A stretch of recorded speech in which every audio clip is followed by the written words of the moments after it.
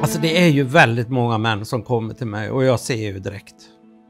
Många vänner till mig som kommer, som är i min ålder eller äldre. Och, eller yngre. Jag känner igen mig omedelbart i deras situation.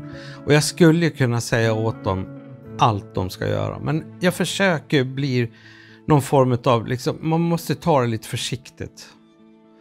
Och jag rekommenderar ju alla att gå in och titta på den här sidan, Rewells hemsida och läs på lite det som står på första sidan. Bara de första tio minuterna man läser sig igenom sidan så har man ju eh, dubblerat sina kunskaper på något vis om sig själv. Och så kommer vissa och vill att jag ska säga ännu mer. Ja, men då berättar jag ju om mitt eget liv vad jag gjorde. Jag drack för mycket, jag åt för mycket, jag tränade för lite, jag var för fet och jag var för ledsen. Och jag hade för dåliga värden. Och med väldigt små medel kan man faktiskt ändra på allt det där och komma tillbaks och må väldigt mycket bättre.